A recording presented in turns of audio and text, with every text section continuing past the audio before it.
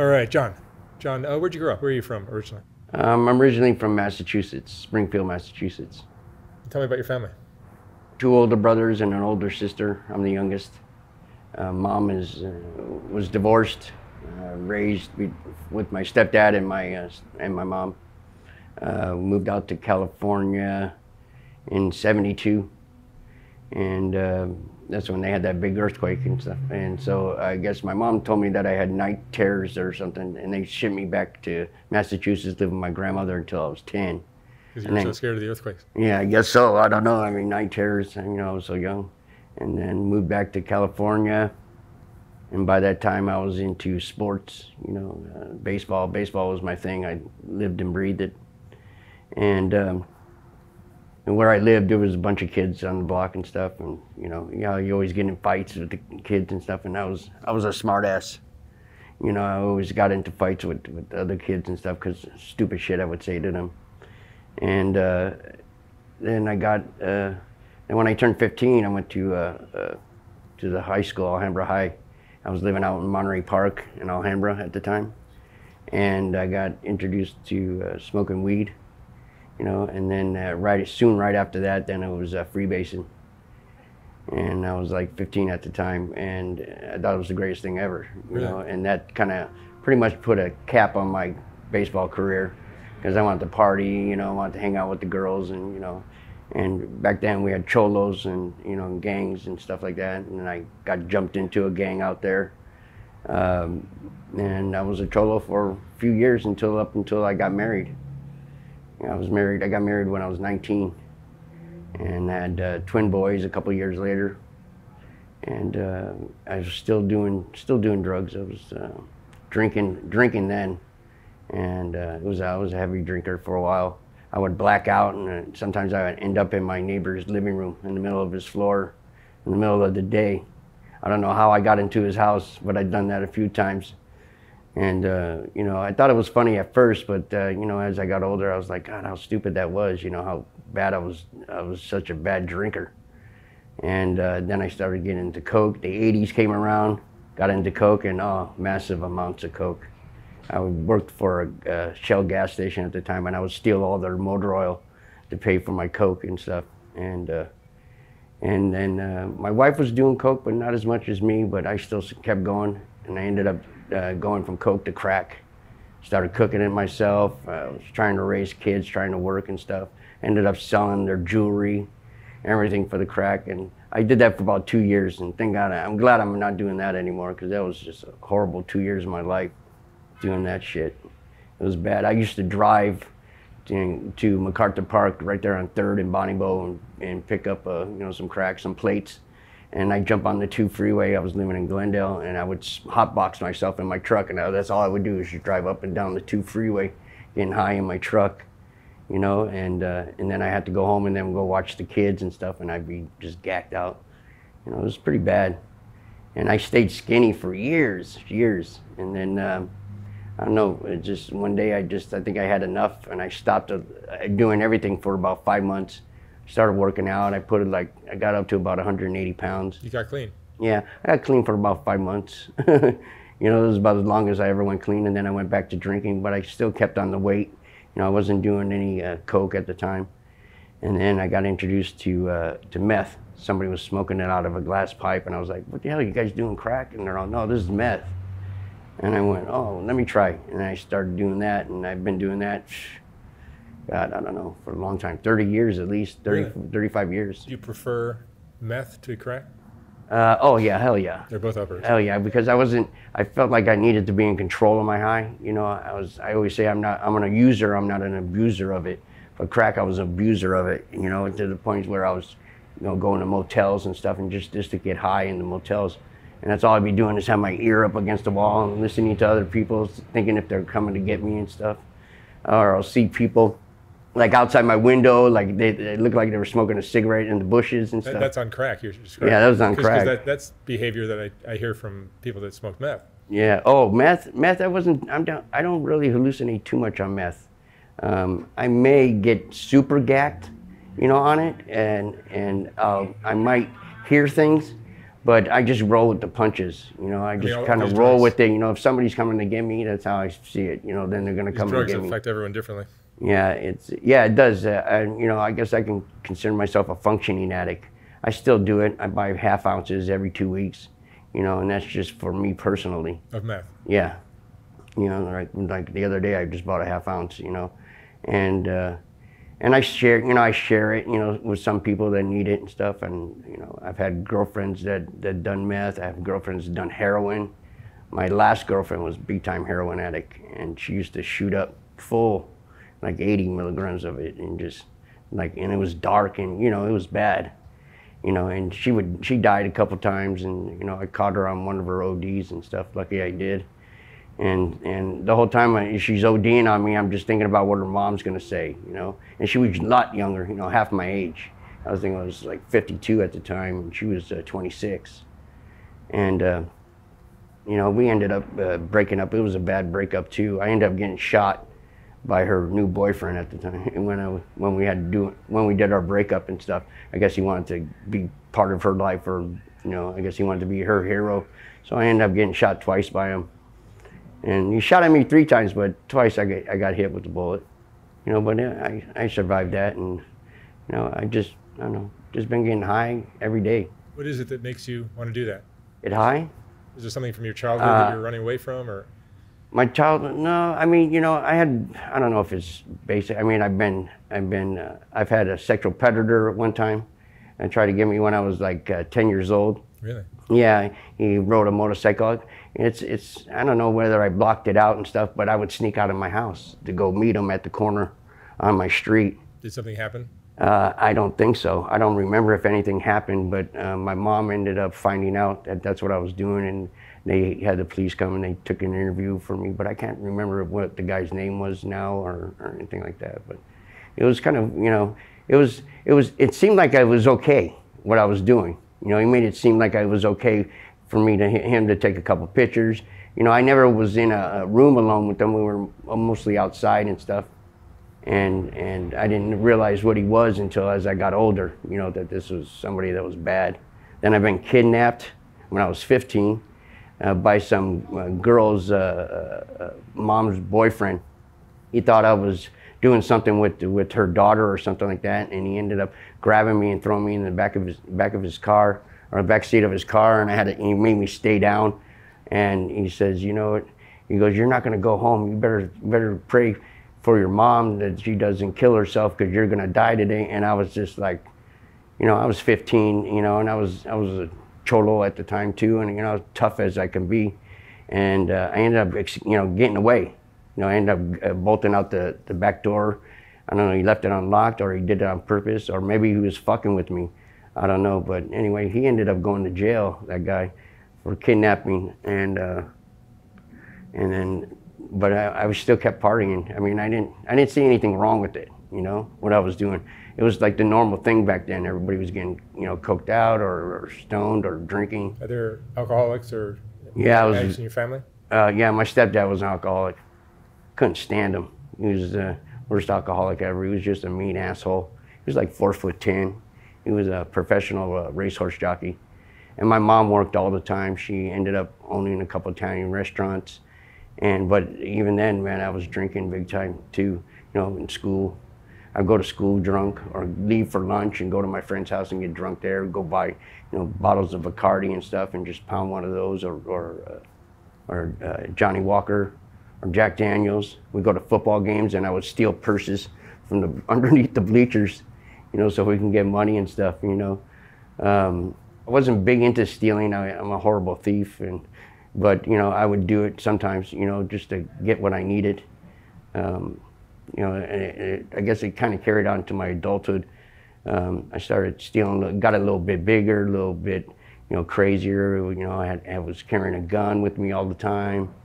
Um, I was stealing cars left and right, you know, and uh, and this is uh, this is while I was married at the time still, and I got married when 19, got divorced when I was 37. So after after 37, then that's when it really started. A lot of crazy shit started happening because I had nobody to monitor my drug habit, because I was just a weekend partier, but I would drink during the week and stuff. I would fuse like oranges with uh, with vodka, you know, and sugar, and just mix it up so it tastes like orange juice and smelled like orange juice. And I just used to drink that all the time, every day. And I'd be at work, and I used to work for um, one of those warehouse companies, you know, Costco's, and I, I made it up to uh, a junior manager, making pretty good money too, like a sixty-two thousand a year, and that was like in 1998. And you were using? I was using every day. Every day I get up and that's the first thing I would do. Uh, a smoke a bowl or snort a line, you know, whatever it got me going, and then take my Sunny D's that I used as thinking that you know they were my orange juice and stuff, and I go to work and I work I work every day. You were a functional addict. I was functioning. Yeah, I was How many functioning. years? How many years did you do that? Oh God, I mean, until until recent. I mean, till now. I mean, I did uh, 13 years with that company. And that was I- meth you were using. I was doing meth, yeah, at the time, and I was drinking too. You know, and, and marijuana used to be a big thing for me. I used to just crave that all the time, but then that just got.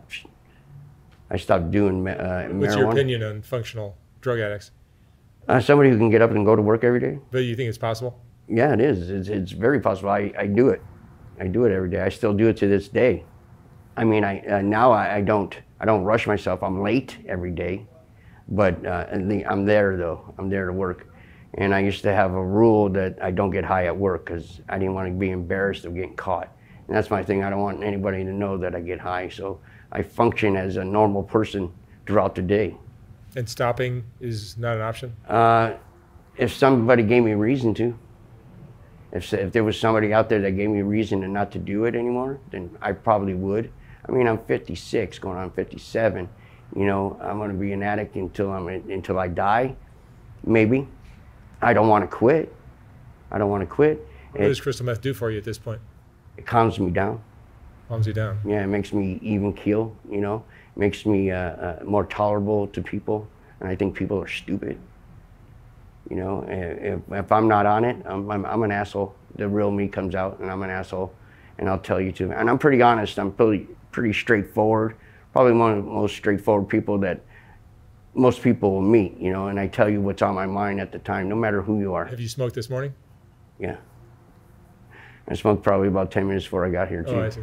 So I mean, it's just something that I do. I lost most majority of all my teeth, you know, and I and Is uh, yeah, both of them. And I got you know I got lucky. Somebody told me about you know because I did have a half partial because I only had half of my teeth up on top, and my partial broke. My worst nightmare ever. And I broke those, and now I just had this snaggle tooth and then no teeth just on this one complete side. And uh, and I had that for did that for a few years, and then I was like, you know, I can't eat, couldn't eat, and my other teeth started breaking. And I said, I got to get something done. And somebody introduced me to some, uh, some somebody was doing something on the internet for uh, dental grants. You know, they can give you some implant grant.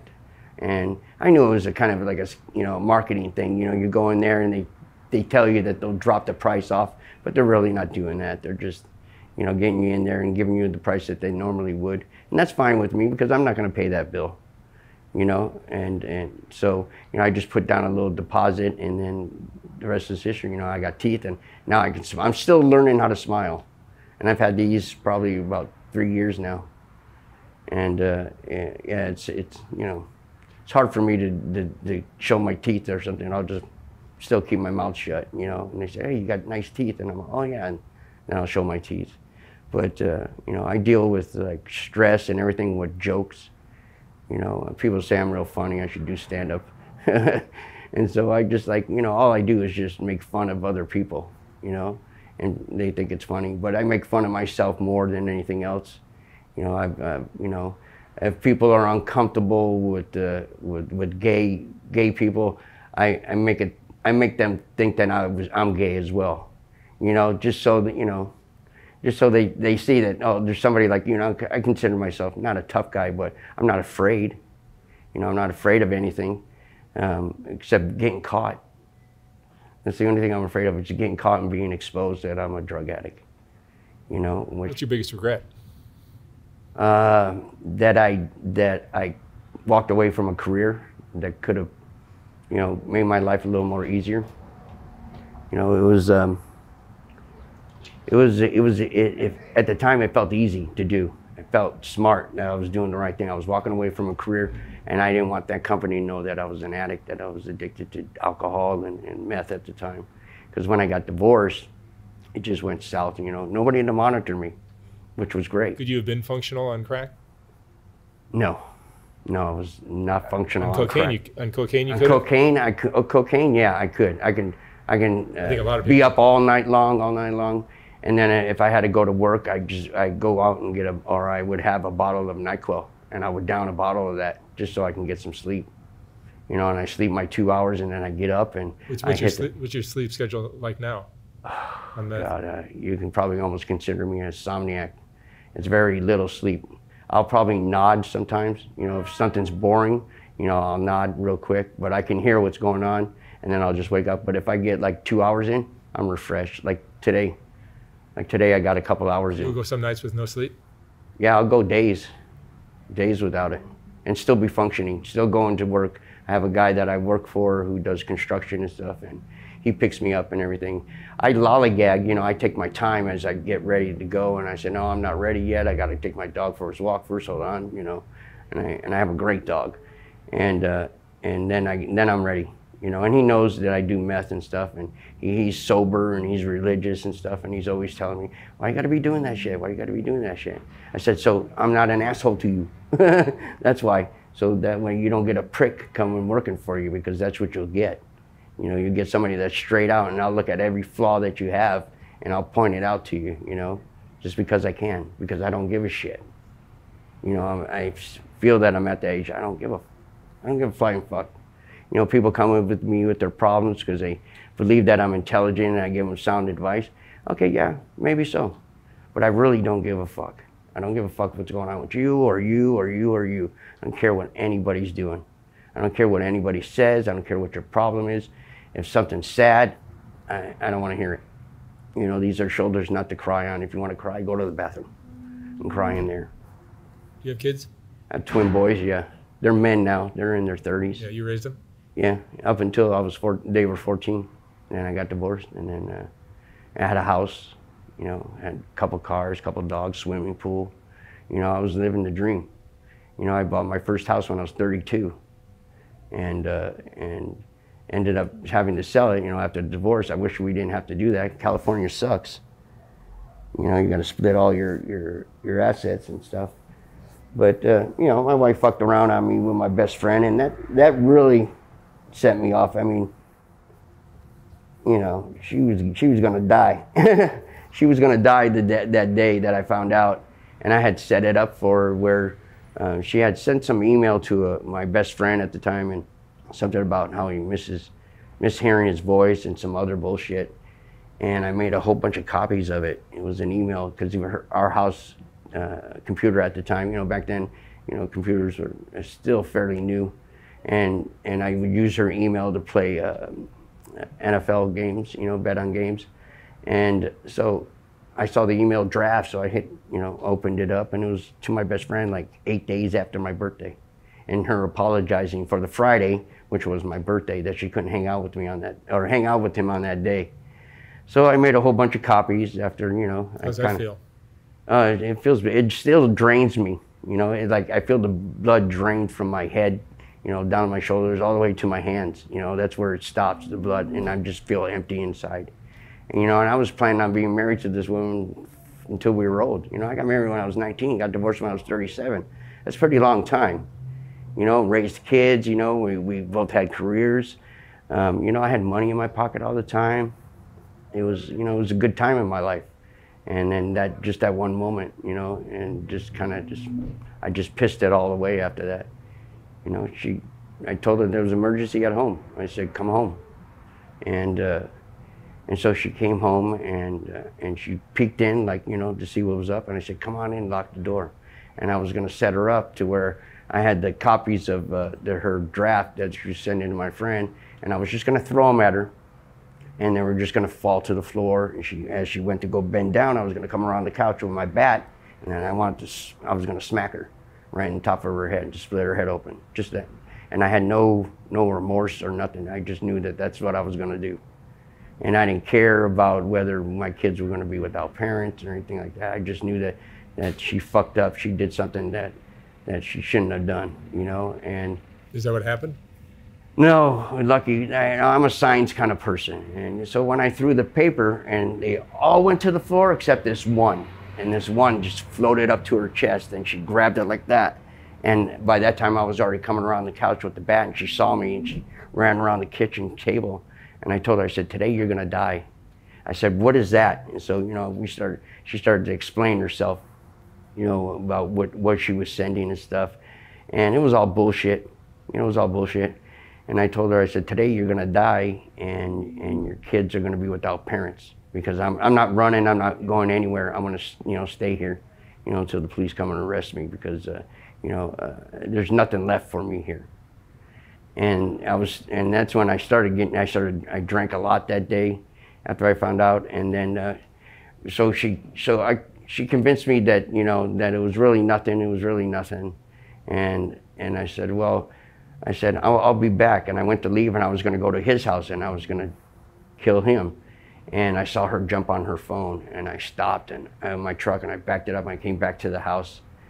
And I, I knew she was going to call him because he had, he had guns and stuff.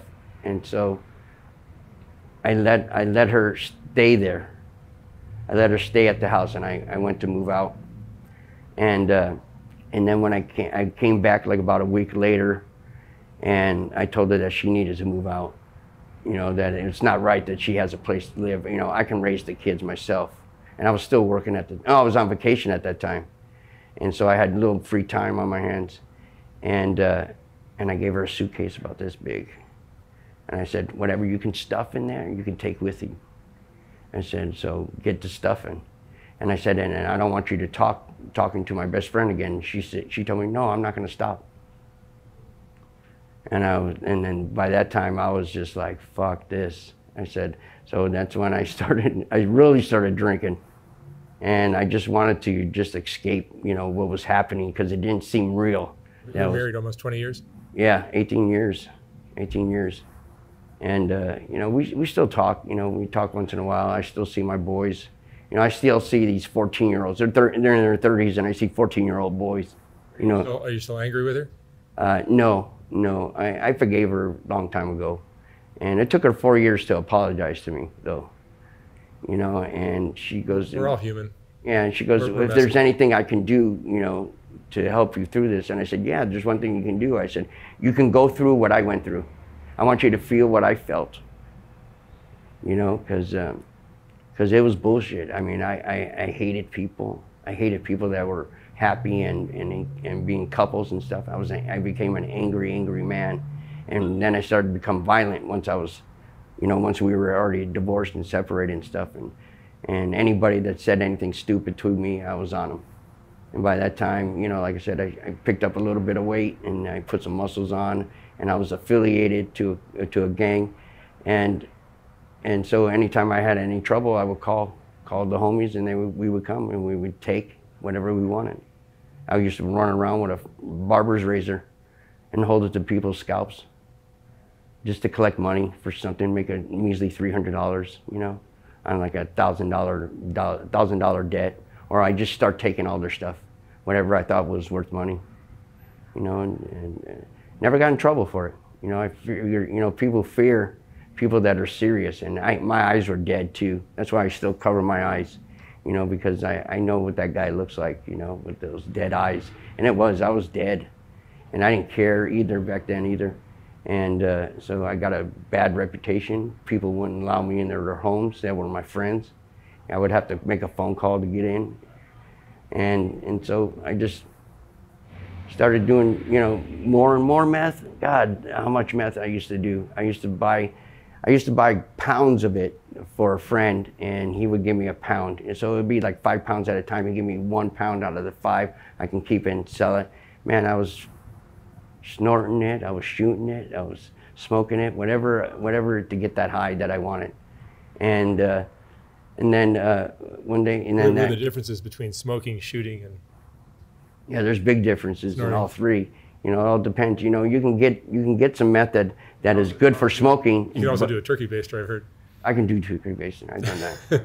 I've done that. I've had you know I've had girlfriends that are you know I have many many girlfriends after I got divorced and you know and I like I like them all. I like them all, no matter what they are. Being, you know, big girls, uh, you know, skinny girls, you know, uh, Mexican, black. You know, right now I'm into black girls. you know, there's a couple of black girls that are that are hang out uh, that I that I know that I like. You know, we fooled around. You know, I fooled around. God, I've been with so many women. It's unreal. From 37 into my age now. Does crystal meth help with that? Um, yeah, it does I've actually. heard, I've heard that. Actually, it does. It, it, it does help me. But, you know, I'm 56 years old, so I need a pill on occasion. You know, uh, other than that, I need something for you to, to beat that desensitization, you know, the, being desensitized, you know. You know, watch a lot of porn, you know, do a lot of jacking off, you know. Uh, uh, and, but I get, I find the sexy girls, and that's what turns me on, is girls that are sexy, that do things weird. My first girlfriend after I got divorced, she was bisexual. And I call her my teacher, and she pretty much taught me a lot of things. And she liked to strap one on on occasion, and you know, she wanted me to fuck some guy, and I was like, no, I don't want to be fucking no guy. I'll let him suck my dick for you, but you know, that's about it. I don't want to be fucking no guy. I don't want no hairy asshole or anything like that. I said, but you can fuck me if you want. And so she thought that was great. So I let, used to let her fuck me once, you know, once in a while and stuff. And that was fun. You know, it was fun because she was an aphrodisiac, this girl. I mean, anywhere we went, people were just drawn to her, and we would have, you know, threesomes and fivesomes, you know, like little carousel of of, of, of, people, you know, that I don't even know, or she barely even knew. Would that be happening if you guys weren't on meth? Uh, probably not. Probably not. You know, but uh, it was it was you know I had some good times and but you know like those those relationships, all my relationships that were with drugs, it was they were all they all ended. You know, maybe not all bad, but they ended. You know, we just kind of moved on and did something or something. My last girlfriend, she was a lot younger. I mean, you know, but she was just a horrible girlfriend. She just was just horrible for me, and everybody kept saying that. But you know, she was a good fuck. You know, and that's all I saw. You know, that she was a good fuck, even though she was doing heroin, heroin, which I hated, because I had friends that did heroin, and I had friends die from it, from fentanyl. I had them die from it, and you know, and I didn't want somebody dying in my care. You know, I I, I felt that I had a certain uh, uh, certain level of, uh, of, respect that I that I believe that I had from people. They you know they trusted me and stuff because I'm a, like I said I'm pretty honest, and you know I nowadays I don't steal from anybody. I don't take their stuff, and you know if I find a wallet on the floor nowadays, even if it had money in it, you know I, I give that person a chance. You know and. I'll either mail it to them. If I don't mail it to them, then I'll try to find something that I can call them with. You know, if they have like a doctor's card or something, I let them know that I found their wallet or something just give them that opportunity before I have to take it. But I've done some real crime stuff, man, real crime stuff. You know, and done home invasions. And, uh, and you're living on the streets now. Yeah. Yeah. Yeah, So I you lived in I lived in a goes uh, hand in hand. yeah I went from I was living with a friend before I went super homeless. Um, I was living with a friend for about three years, and then they moved to Palmdale. And a friend of mine dropped off. He had a, a pop-out trailer, and it was a joke. It was a joke. He goes, "Oh, I heard you going homeless, so I brought you this pop-out trailer, you know, for you to live in." And you know, I made fun of it and everything. And I was gonna fix it up and sell it, you know, and make some money off of it. But no, I ended up living in it, and I lived in that thing for about a year and a half. And then I went from that to a, a to a motorhome, and then from a motorhome to another motorhome, and then I finally I got some EDD when EDD was happening. Everybody was doing that unemployment. I got some money in, and I bought him another motorhome, which I ended up giving it to my last girlfriend, which was a mistake, you know. Um, and then uh, I just and then from there I went from this last motorhome that I was in to living in like a tent, I guess, or fixed, uh, you know, housing with the, with pallets, you know, and. Uh, it's cold and rainy at times, man, and it's pretty bad. I mean, this this year is probably one of the worst years I think for being out on the streets. It's a rough you know. You know, with the rain and everything, and the nonstop rain and stuff, and you know, you you can't get warm enough. You know, and I got a dog too, and I hate that my dog's being put through what I've been put through. So, you know, the housing came, and, and you know, they say hey, we'll get you in a home, and you know, and all I really care about is my dog then you know he's he gets a better life you know or, or, lives better. But he's so loyal and, and you know and he knows what's up with me. And you know when it's cold days and stuff he just gets right up in my face. And i got a bull mastiff uh, american bulldog and he's a runt and i got that uh, and uh, somebody was walking down the street with them, wanted a good home for them, And, uh, and I said, yeah, I'll give him a good home. I'll give him a good home. And I told my girlfriend, I said, here, this is, you know, your birthday gift. Because we were talked about getting an animal. And, but she never took care of it. She's horrible. Like I said, a horrible girlfriend at the time. And so I ended up with the dog, and uh, he's just been around me ever since five years. You know, he's been out on the streets, and he's very, you know, he's friendly, but he's, but he's protective and stuff. And he, you know, he, everybody loves him. Everybody loves him. He runs, he runs the park, you know, pretty much the park that I'm at, and and all the people, they always come and say hi to him first before they say hi to me and stuff. How does it uh, feel to be 57 years old and living in, in a park? Yeah, yeah. How does that feel? well, I feel embarrassed, you know.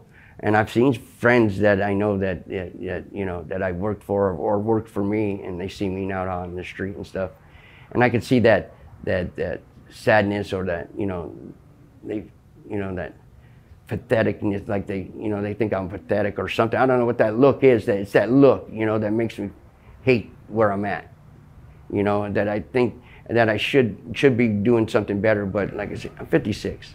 There's not a lot of opportunity out there for me anymore. No, no matter how talented I am at what I do, because for me to go in and and and talk to somebody about getting a job, it's a difficult thing. And like I say, I'm late to everything. I'm late to everything. I mean, I had a dishwashing job for four years, and every day I was late. Every day, no joke, for four years before they finally fired me. They ended up having to get a new manager in, into the restaurant that I was at, and that person fired me because I was late. But I was late every day, no joke, every day, 10 minutes to a half hour, and I lived a block away.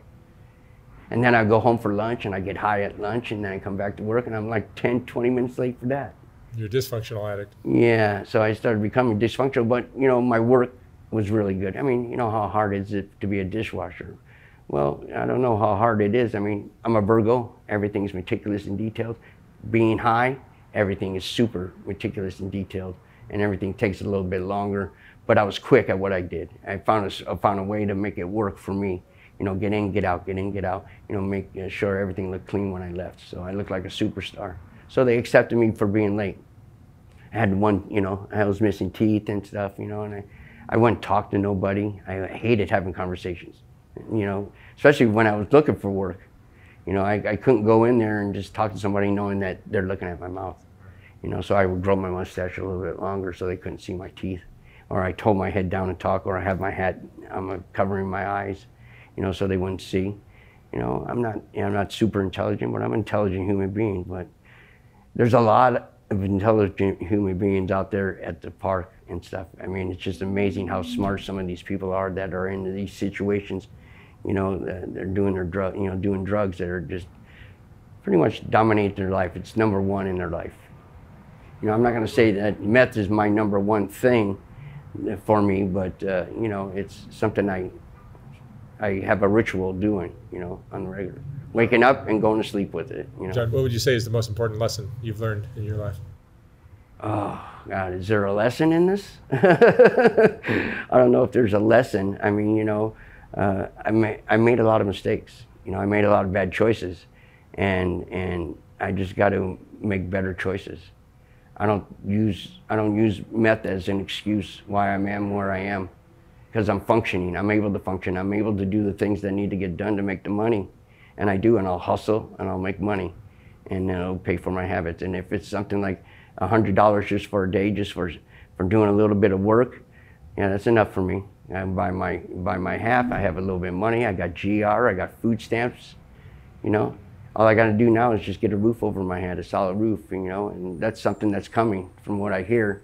You know, they're, I, I've talked to the people at tiny homes, and they uh, they said that they're doing intakes next week, and that they'll that uh, uh, somebody from housing should set me up for an appointment, so I'll know for sure whether I get in or not. And then if I'm in there, maybe things will change. Maybe it'll be different. You know, that I have a roof over my head, that I got a safe place for my dog. You know, and he's everything to me too. You know, and I don't, I don't really want to talk about him because it makes me sad, but you know, it, it sucks. It sucks for him. You know, he's a good dog. All right. All right, John.